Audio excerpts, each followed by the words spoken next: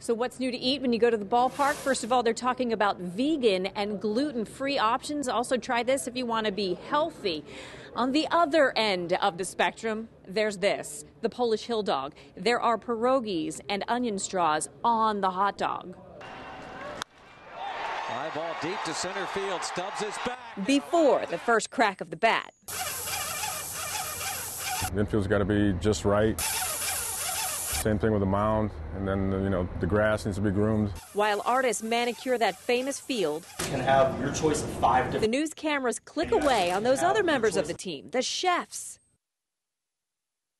We're featuring our crispy potatoes. Sushi this year. You got a rainbow roll. You don't have to pronounce profiteroles to enjoy them. It's a vanilla custard drizzle with some raspberry sauce. Soft pretzels like you've never seen, popcorn that puts your old school cracker jack to shame, meatball subs with six different kinds of meatballs.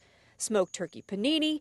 Wendy and Andrew can argue about which craft beer they prefer, and of course, Bucco nachos with cilantro creme fraiche. I think we sell more nachos than any other team in baseball. And you can enjoy the nosh in the brand new bar, the Budweiser Bowtie Bar. If you buy a ticket in here, you get some snacks along with your right field seat. Or. So if let's say you had some friends, it's a minimum of 50 people, and it's $45 a person, and it would include some food, your tickets to the game, and a portion of that space dedicated just for you. At PNC Park, I'm Shannon Perrine, Channel 4 Action News. Is it wrong that I just want a Primanti's cheesesteak?